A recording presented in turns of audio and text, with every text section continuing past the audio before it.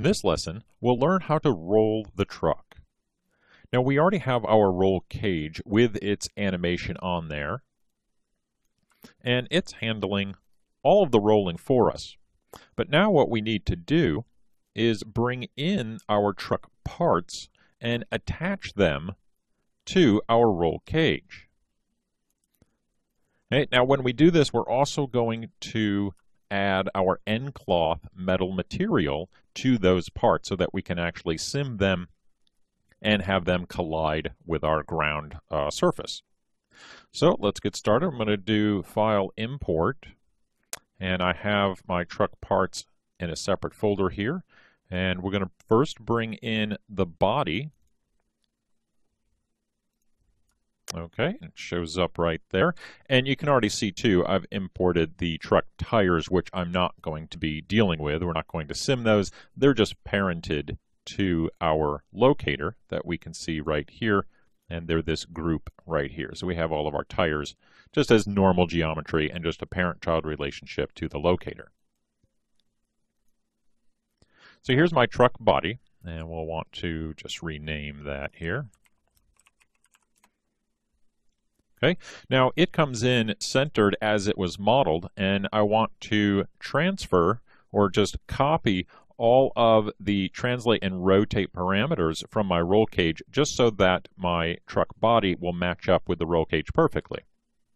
So to do this, I'll just select the roll bar, then select my truck body, and I will highlight in the channel box my translate and rotate values, and we'll go to Edit, Transfer Attribute Values, okay, and we'll just make sure that from Channel Box is checked. Now I'm going to use this a lot for all of the pieces and parts that I bring in, so I've already added this up here to my shelf. So we'll just go ahead and hit Apply and Close, okay, and that just copies everything over there uh, for me uh, nicely.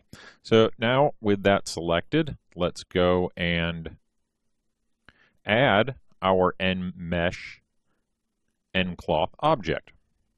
Okay, so we'll just do create nCloth, and I'm going to open up the attribute editor and attach our car metal attributes that we did in our previous lesson. Okay, and now a couple things I want to check here. The input mesh attract, that is going to allow it to match my original input mesh, which is right now the same thing that we're looking at. It's basically the truck in its standard position here. But one thing that we want to do in order to get this to work is that we're going to have to take the truck body and make it a child of the locator. Now, we are doing a simulation, so normally those types of things are completely ignored. However, we are also using the input motion drag. This is going to force the nCloth object to inherit the motion of its input mesh. So we'll just look at this in the hypergraph. Just think it's a little bit easier to see here. Okay, so here's my truck body. It is an nCloth object. There is my input mesh, and here is my actual cloth object. So they're just, they're all as one node there. Now here's my locator. This is essentially my roll cage. This already has all my keyframe animation on it.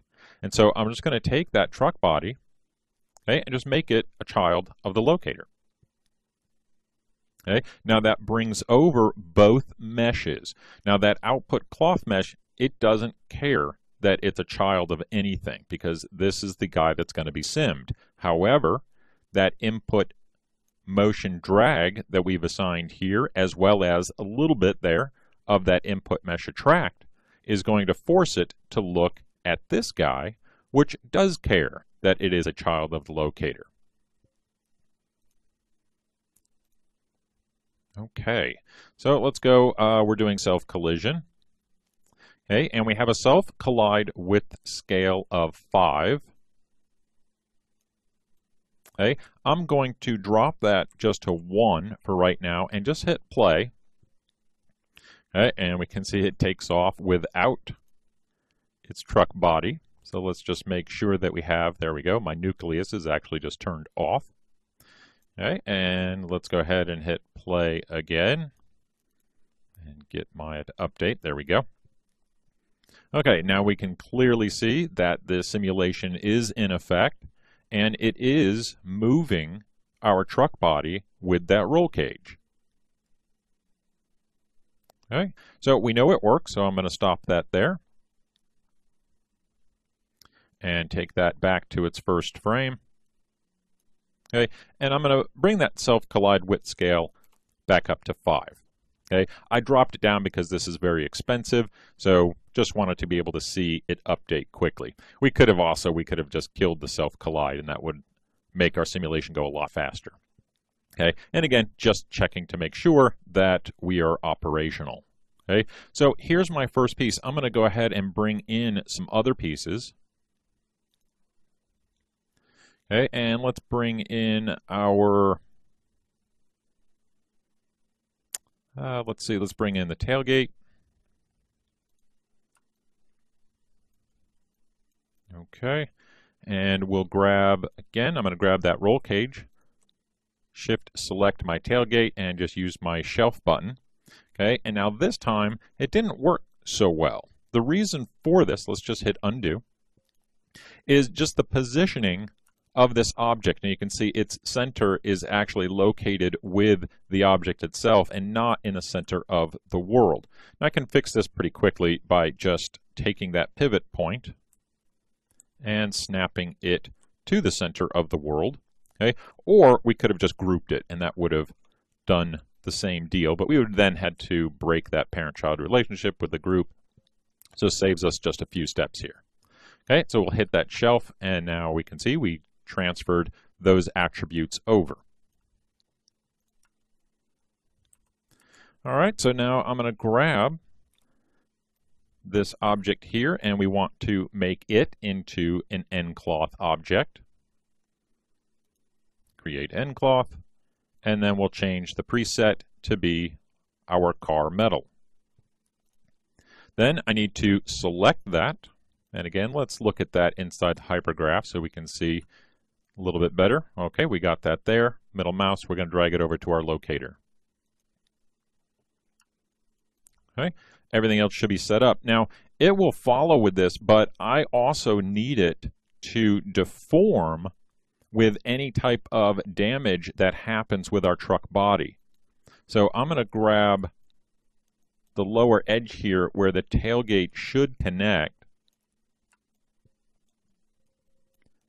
and we'll grab just the lower edges here and we'll go to vertices. I'll hold shift, select the truck body, and add a point to surface constraint. Okay, we don't need to do anything to this constraint. This is going to work for us just fine with the defaults.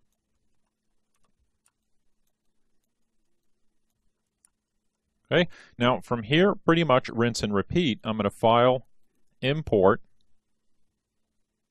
okay, and I have a couple of other pieces, but we're going to skip those.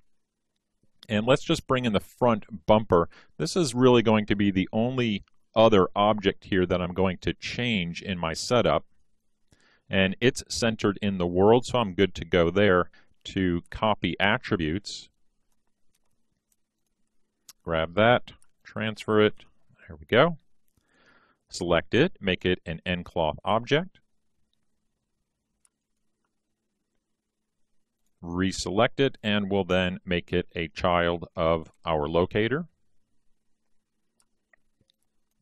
Okay, now the thing that I want to change here is I'm going to take the self collide width scale, I'm going to drop it down to 1 Oh, we didn't take our, didn't do our preset. Let's do that here. Replace. I thought that should be 5. And let's just take that to 1. And then under my input mesh attract, I'm going to raise this up. And the reason for doing it here on the bumper is because the bumper should stay fairly solid um, when it does receive some damage. But as it continues to go, it will still receive even more damage. So by the time this is done, the bumper could be completely destroyed, but in the beginning part, the first hit isn't going to make it uh, completely crumble. So it'll follow that input mesh attract for a little bit. Okay, and then I want to do the same thing here. I want to select edges and we'll convert this selection and I'm just selecting all of the edges that are common okay, to my truck surface there. Okay, and hold shift and we'll do point to surface.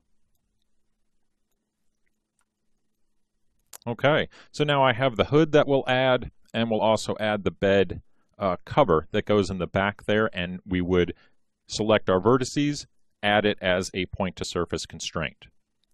Once all of that is done, okay, we'll watch the simulation, maybe make some minor adjustments here and there, uh, but then we want to cache that simulation out. And for this, what I've done, I've already cached it, but I'll select each and every piece that I want to cache and go to nCache, Create New Cache, and choose one file per object. Okay, and that will give me uh, all of those pieces as one. Okay, uh, we could also, which is actually, uh, eh, it all depends. I, I would actually prefer one file per object. That way I can break those out and change them if need be.